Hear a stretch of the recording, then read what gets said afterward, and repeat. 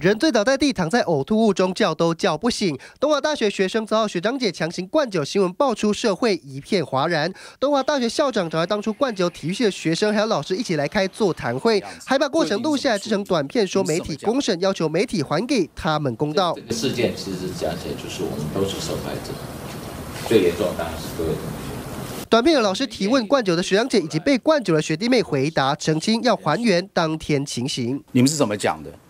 可是当天的情况是我们也是沟通到一个阶段，那大家也都喝了酒，那林同学也是说这边也没有学长在强压学弟灌酒。我们我把他扛回去了。我们对于这样就是看到他这样会觉得很难过。同学回忆当时还是对林同学被灌倒在地十分心疼，而且学长学弟之间对于该不该以喝酒当做沟通方式，其实早就有意见上的出入。我们大一大就是大概就是有达成一个共识，就是觉得说不必要到喝酒这种地步。对，我们可以觉得是喝酒的沟通方式是 OK 的。他们不需要喝酒的话，那我们也可以换其他方式去替代这个以前跟学长姐就是相互沟通的方式。喝酒竟然是系上的传统沟通方式，学长还不断强调学长学弟制的重要。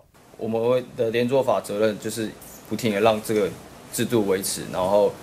大家越来越像个家庭，越来越像个团队。影片一出反而引发更多网友质疑：学弟说话的时候，后面对学长姐、老师盯着他，敢讲内心真实的话吗？为什么总觉得大医生讲话支支吾吾的？还有人质疑当事人，也就是被灌醉的林同学，怎么没出来说说话？东华大学特地做了这段影片澄清，但是新闻爆出当天，对于媒体提问都不愿回应。事后碰影片要公道，反而让网友虽然说是终于串完了，还说把目击影片拿出来才是澄清。校方想要讨拍，反而适得其反。这话。花莲综合报道。